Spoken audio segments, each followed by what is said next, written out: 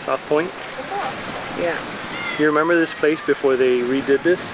Yep, I jumped off the pier a couple of times. You jumped off this pier, huh? You were one of those? I was a rebel. I don't know anybody in Miami who hasn't at least maybe jumped once off of this Yeah, pier. this is used to be famous for jumping off. I'm not saying I did. I'm just gonna leave it at that.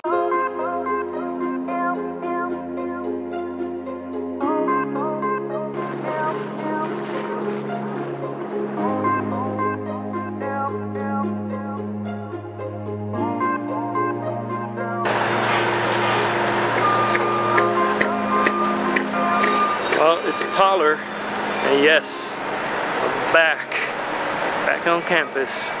It's like they knew I was coming back from vacation. That's awesome. Or is it one?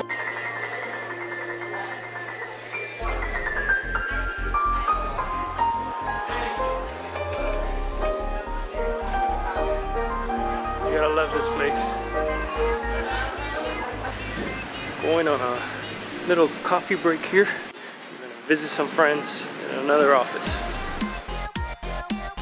Hey, Hi. We. This is my. This is my vlog camera. these are the ladies who like run the university. Uh-huh. Nobody, it's a secret. Nobody really knows it. The Real Housewives of the OB. I've not yet walked by the fountain today. It's about time. It is past five o'clock. I'm gonna run home because I've got some plans to work on some things for the vlog. I'm excited to be back in Miami because of that. Um, had a lot of work to catch up on today, but always happens. You go on vacation, you come back, you have a bunch of things. But Let's go see this fountain one more time. It's right over there.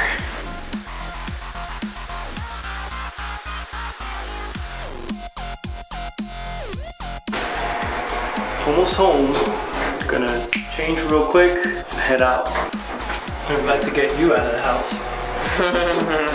Glad to be out of the house. Yeah, me too. I'm glad to be out of the house. This is gonna be fun. The best part is I'm gonna get to see the nature with you.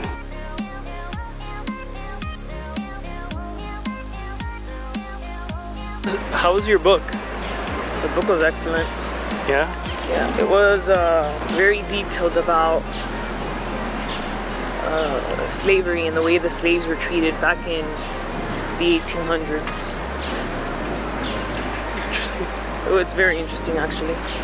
Good author then? Excellent author. I want to read another book. So the beach is a pretty cool place to come and hang out after work.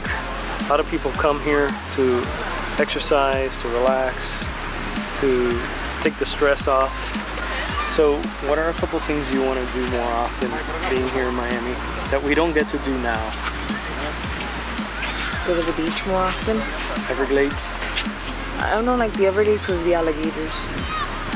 But when have you ever had a problem with the alligators? They're scary. Um, as long as we don't mess with them, we're fine. Go out more and have more picnics in the parks. Yeah? Well, there's a lot of nice places in the Everglades we could do that. Oh yeah, we did that once, remember? Yeah.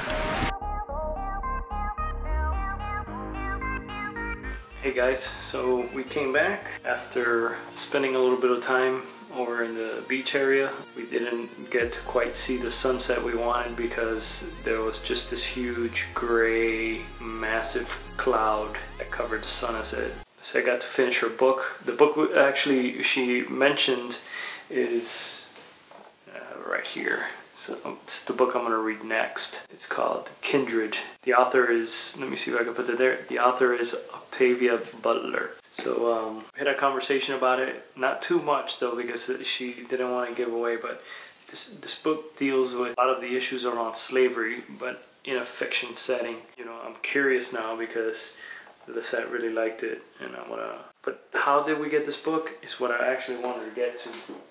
So the last day of class, I asked our professor. Now our professor, Dr. Spears Bunton, she's got an uh, an English and literature background. I love to ask your top five books that I must read before the day I die.